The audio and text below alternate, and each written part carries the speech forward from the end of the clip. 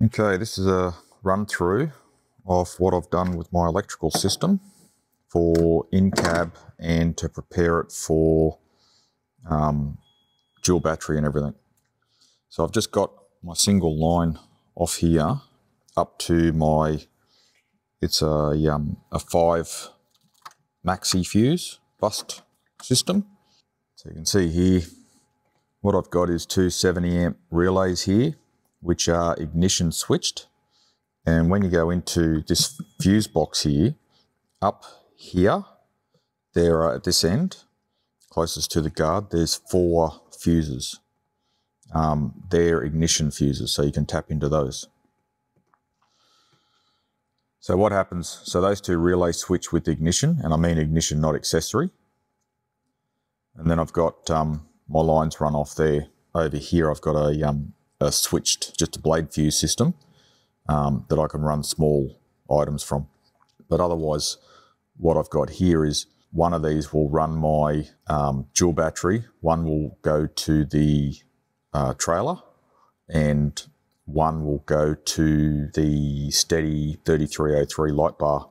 This access point down here behind the diesel filter is a really good one to access the passenger side of the cab.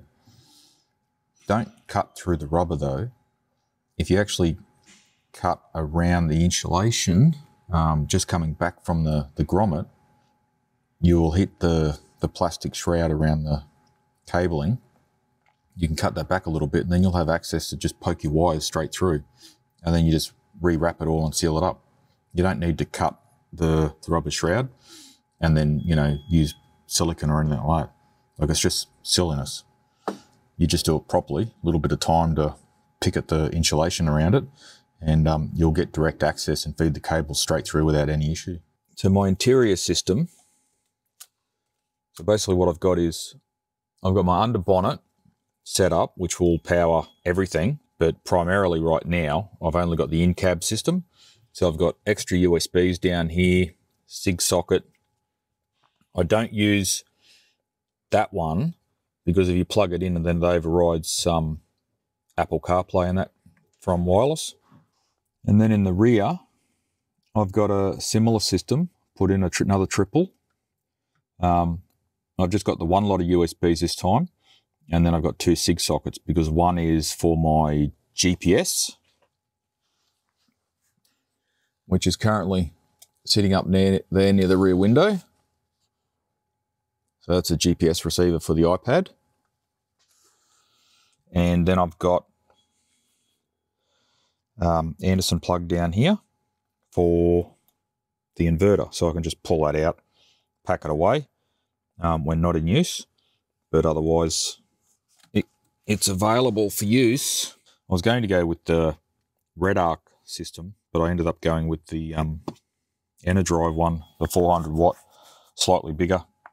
So why not? It was a bit cheaper. They both had two year warranties. So much of a muchness. So I went with that instead. But yeah, it makes it easy to be able to just disconnect that and pack it away um, when we don't need it. So, but otherwise, it's primarily just for the missus to use um, when she's using her laptop. I've now got my RAM pod installed, which does my iPad. So that will just hold that there. I can, you know, position it around to however I need it. So I've got my four-wheel drive maps on there. I can have my CarPlay or whatever I want to do on my main screen and it's not disturbing it. And the missus can also use it if she doesn't want to have uh, her laptop and she just wants to surf the internet, then she'll just twist it around and she can sit there and play on the internet. Nice and simple and out of the way. That just connects. That just connects down there on the base of the seat, as you can see.